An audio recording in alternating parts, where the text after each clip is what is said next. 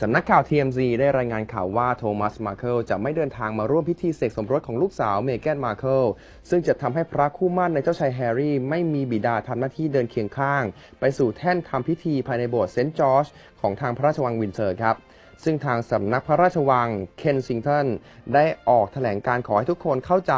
และเคารพการตัดสินของโทมัส มาร์เคิลด้วยครับ ทางสำนักพระราชวังนะครับได้เผยเพิ่มเติมว่าจะไม่ขอเผยรายละเอียดเบื้องหลัง การตัดสินใจของโทมัสมาร์เคิลเนื่องจากเป็นเหตุผลส่วนตัวที่เกิดขึ้นระหว่างเมแกนมาร์เคิลและคุณพ่อของเธอนั่นเองทางด้านเจ้าชายแฮร์รี่ก็ได้ทรงกล่าวย้ำว่าทุกคนควรเข้าใจ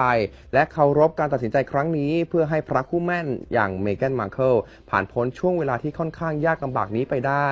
ทางด้านสำนักข่าว TMZ ได้รายงานข่าวว่าโทมัส มาร์เคิลไม่พอใจที่ช่างภาพปาปารัสซี่ ได้แอบถ่ายรูปของเขาในระหว่างการเตรียมตัว จัดงานสำคัญให้กับลูกสาว และรายงานข่าวในแง่ลบเกี่ยวกับตัวเอง ส่งผลให้โทมัส มาร์เคิลตัดสินใจที่จะไม่ไปร่วมพิธีเสกสมรส เพื่อหลีกเลี่ยง ไม่ให้เกิดความน่าอับอาย และความวุ่นวายให้กับทั้งลูกสาว และราชวงศ์อังกฤษนั่นเองครับ